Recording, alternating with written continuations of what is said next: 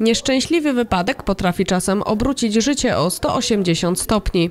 Przekonała się o tym pani Emilia Pieczka, która po nieszczęsnym upadku zaczęła pisać wiersze. Nie byłoby w tym nic nadzwyczajnego, gdyby nie fakt, że wzrok pani Emilii pogarszał się z dnia na dzień.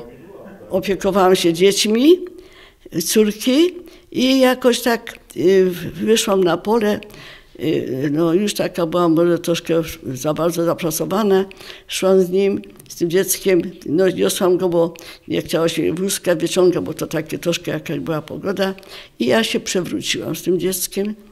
I wtedy już uderzyłam gdzieś głową. I to jakieś zaczęły mi tam trochę, no i czy oczy też.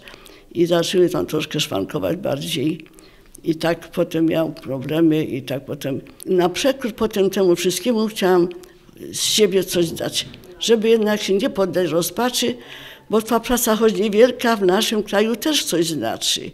I tak y, zaczęłam takie, takie wiersze y, sobie układać i tak przeżywać to razem z tymi wierszami. W kolekcji pani Emilii znajduje się około 100 wierszy. Początkowo były one zapisywane przez autorkę własnoręcznie. Później z upływem czasu i pogarszającego się wzroku pojawiły się maszynopisy, które syn pani Emilii zbindował w jedną książkę. Nie widzisz już wyjścia, poddajesz się, lecz w tym zamęcie nie wolno ci trwać. Na przekór wszystkiemu uśmiechnij się. Uśmiechem tym zgasisz przygnębienia, wyrzucisz z siebie żądło zazdrości. Z łatwością dojdziesz do porozumienia, gdy serce wolne, pełne miłości.